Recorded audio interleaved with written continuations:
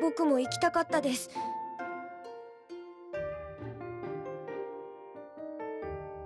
分かっています。戦えない僕がついていったら皆さんの負担になってしまいますから。僕はお城に残って新しい情報がないか探しますね。待ってください。なんとか間に合ったな。兄上これも持って行ってくれ。これは？握り飯だ。道中で食べるといい。わざわざありがとう。みんなで美味しくいただくよ。ああそうしてくれ。みんなの好きな具を入れておいたぞ。僕も君に渡したいものがあるんだ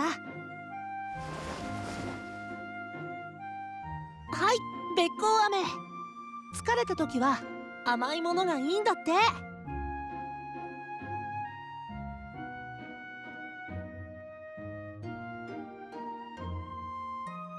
ねもしかしてその格好で石板のところへ向かうつもり？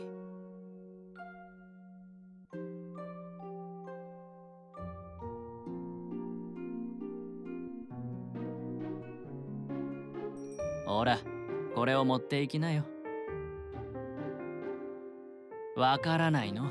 これを切ろって意味だよ。君って本当にバカだよね。何度言っても忘れるんだから。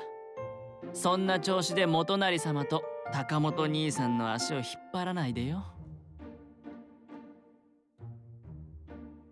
それじゃあ行こうか。姫は私の馬に乗りなさい。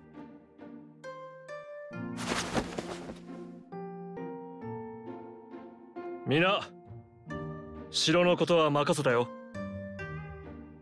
はい。気をつけてくださいね。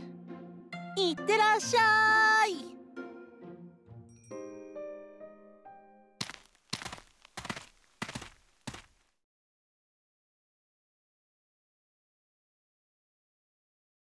そうですね。喜ばしいことではありますが前回あれだけのヤクマが襲ってきたことを考えると少し不思議です。もしかするとその腕輪のおかげかもしれないね。